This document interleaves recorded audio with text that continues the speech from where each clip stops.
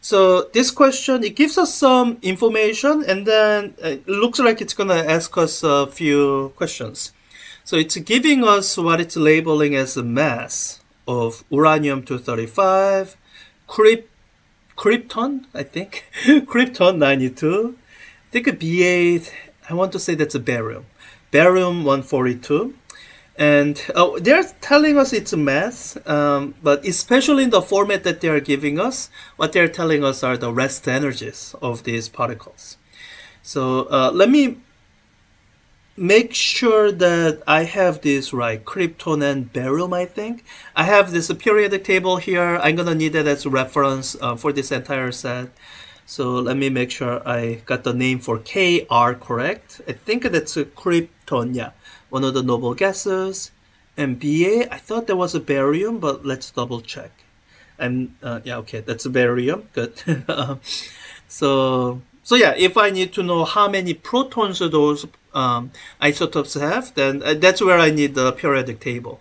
Because in the format that's specified here, barium 142, that only tells me the total number of protons and neutrons. Um, eh, to figure out the number of protons, I need to know its atomic number.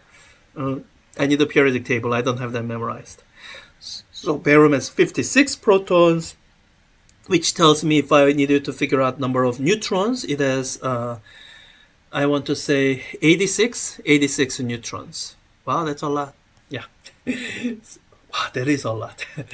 so uh, it, it, I'm pretty sure barium 142 is not stable, uh, but um, for however long it exists, that's the mass it has. So, okay, so we have rest energies of these particles, and I think we're going to need that as we answer part A, B, C. So A asks, calculate the energy released in the neutron-induced fission reaction. Okay, so this almost reads like a chemical reaction, and that is frankly what it is. It's a well, it's a reaction. It's a nuclear reaction, but it specifies that you had a neutron and uranium 235 coming in. Those are the reactants and the product using the language in chemistry or the daughter nuclei or products are the krypton 92 plus barium 142 by the way i'm pretty sure neither of these are super stable plus a 2 times a neutron so in terms of energy released, really all we have to do is calculate what are the total rest energies of the two sides, incoming, outgoing. So let me use my calculator to that to do that calculation. So um, on the product, sorry, all the on the reactant side, I have neutron, which has rest mass of 939. 56536. I'm keeping all the significant figures in case the difference turns out to be small. Plus uranium-235, 218942 is equal to that.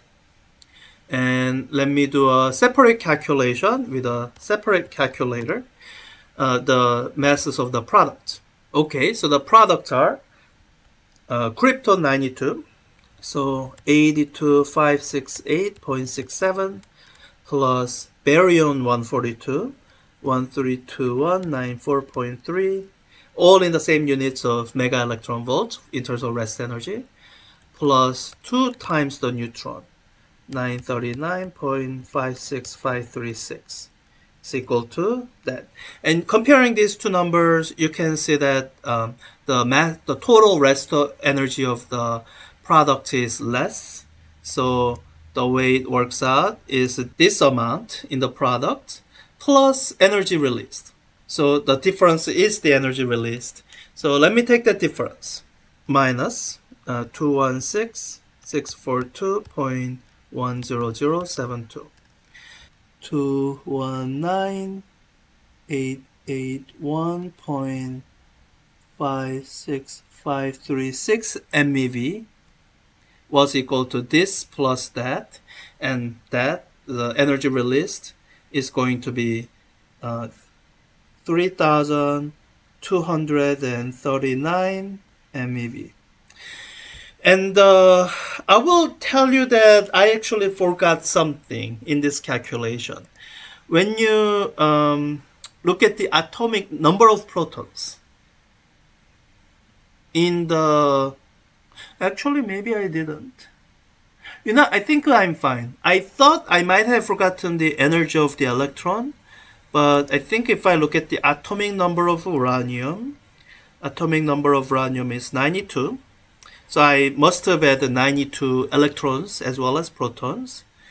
And uh, atomic number of barium, 56, plus atomic number of krypton, 36 yeah that's 92 so okay. So i didn't actually forget uh, rest energy of electron because whatever number of electrons there were here they are also here. I think we are good. Um, if i had forgotten them it wouldn't have mattered because rest energy of electron is only 0.5 mev so in the this number scale it's a rounding error. So it would have been fine.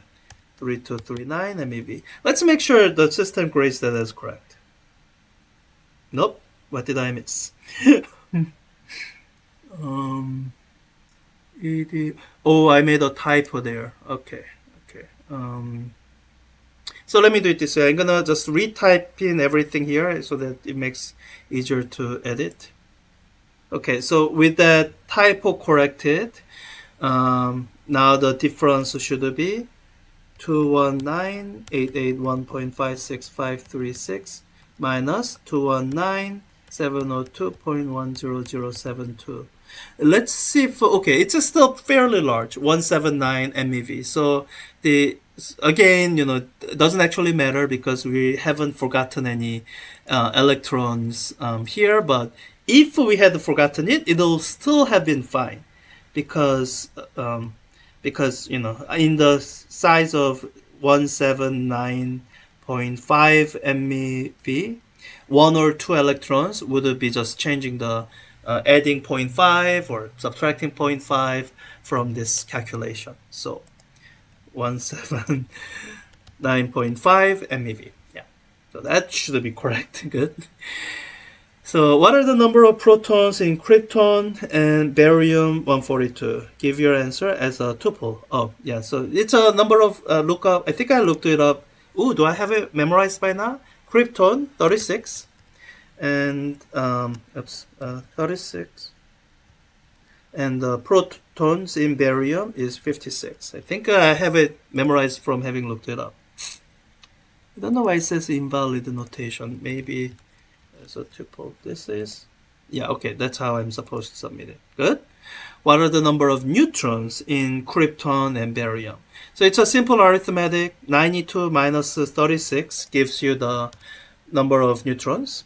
Um, so that would be 56. Oh, that is so confusing. uh, 142 minus 56 gives you the number of neutrons in barium. That would be 86. And yeah, that should be correct. Confirm using your answer to BNC that um, the total charge and the number of nucleons is conserved, right? So in the fission reaction, all that amounts to is just rearranging of where the protons are, where the neutrons are. In order to change the actual number of protons and neutrons, you need a, a beta decay, which is topic of the next chapter. So, um, so yeah, we with uh, 36 and 56 protons, total of 92 protons, that matches with the atomic number of uranium, 92. So 92 protons came in, 92 protons went out. And uranium-235 has 143 neutrons. And uh, 56 plus 86 has um, 142 neutrons.